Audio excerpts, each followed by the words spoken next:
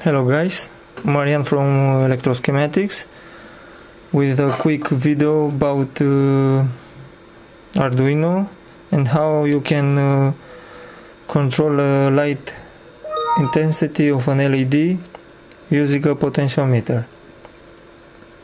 Let me show you a quick demo. As I rotate the, pot the potentiometer, the light intensity varies according to the value of the potentiometer.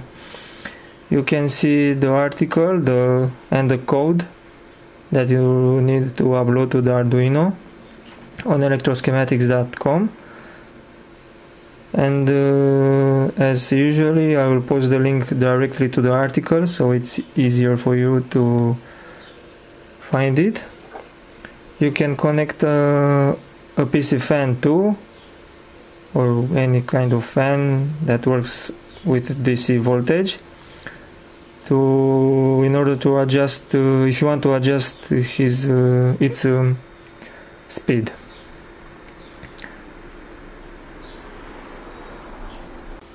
Okay so so I'm back again.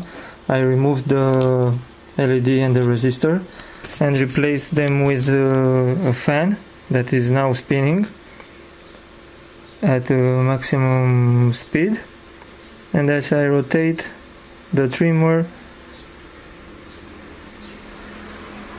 its speed is going down until uh, in the end it, uh, it will stop rotating. Okay. Uh, this is uh, there is a problem with this fan because uh, it is a 12 uh, volts one but uh, I have powered it from a 9 volt battery so obviously it's not working too well.